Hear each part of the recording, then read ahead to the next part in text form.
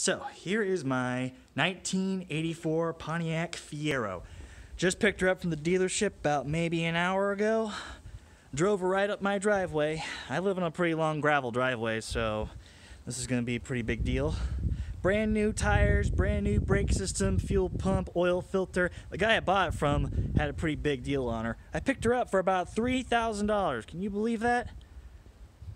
Stock engine, Iron Duke. Can't go better than that.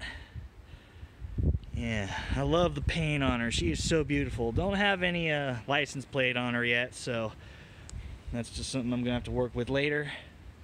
So, let's take a spin, shall we? Well, not really a spin, just let's see how she sounds. Okay.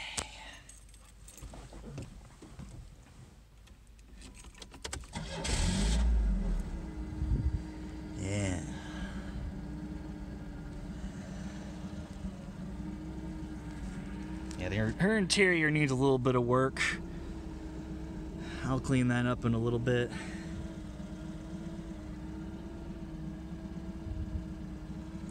Yeah. Best feature she's got pop up headlights. Let's take a look on the outside. There's my old car, my Toyota.